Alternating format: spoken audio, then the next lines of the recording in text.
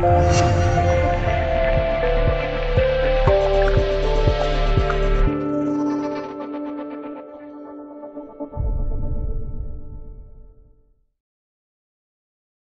一投一中，在 CBA 大杀四方，到国家队彻底消失，李楠还敢继续用他吗？雅加达亚运会中国男篮红队的第二场对阵哈萨克斯坦队的比赛中，在上半场苦战的情况下，凭借第三节的爆发，最终以八十三比六十六大胜哈萨克斯坦男篮，从而以小组第一的成绩晋级八强。值得庆祝，在这场比赛中，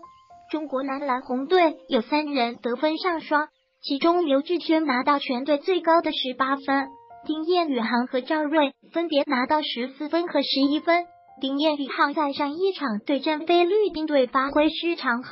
此役终于证明了自己。尤其是在拉开比分的第三节比赛中，丁彦雨航独得九分，是红队能够赢下比赛的关键人物。不过，和丁彦雨航在比赛中证明自己不同的是。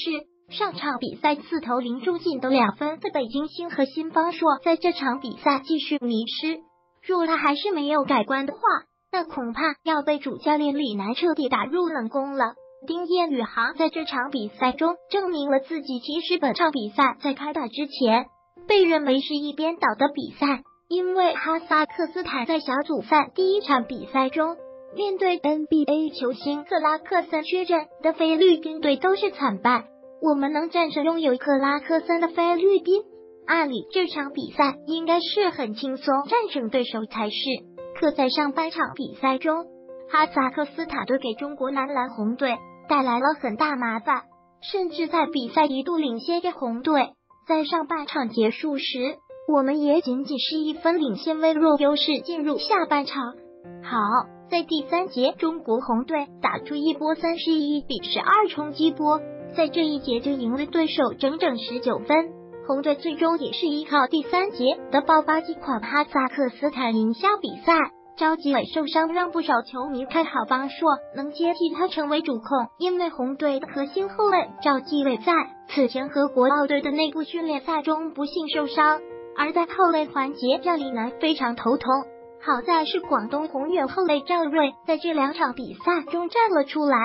加上在辽宁队此前打前锋的刘志轩客场到后卫角色也有不错表现，总算是支撑住红队的后卫线。但后卫线上目前两场比赛来看，还是有着比较大的诟病，那就是原本很多球迷指望着能接替赵继伟的北京首钢星和先发弱了。他的第一场比赛四投零中后，在本场对阵哈萨克斯坦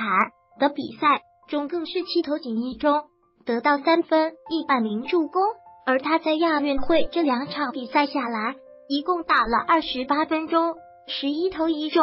仅拿到五分二板一助攻，还算数据，进攻效率实在太差，基本在场上消失。方硕在亚运会两场比赛十一投一中一助攻，状态低迷。之所以很多球迷此前对方硕期待这么大。很重要的原因就是他在 CBA 联赛中给大家带来太多惊喜，在一七到一八赛季可以场均得到十五分四点八助顶级后卫的数据，尤其是在季后赛首轮面对后来的冠军辽宁队的这个系列赛，方硕多次在北京首钢最危难时刻站了出来，投进关键球。很多球迷也都认为方硕已经得到了马布里的一波，他会是北京首钢的新核心。不过，方硕在联赛大杀四方，却并没有把这表现带到国家队来。不仅是在这亚运会这两场比赛发挥低迷，此前在资杯中也是表现非常不理想。很多球迷也说，方硕这种球员只能在窝里横，在国家队他不行。方硕在 CBA 大杀四方，却在国家队不行，现在情况对方硕来说非常不妙。在这几次比赛中。李楠算是挤足了机会给方硕，但他没有把握住。而在后面淘汰赛，相信李楠在使用他上面会非常谨慎，恐怕会让这两场基本上没怎么打过的赵泰龙和田宇翔机会了。毕竟这两人在 CBA 表现也是很不错的，尤其是赵泰龙，在上届亚运会上还是国家队得分王，三分球更是他的拿手好戏。而一旦被赵泰龙和田宇翔抓住机会的话，恐怕方硕要被李楠直接打入冷宫了。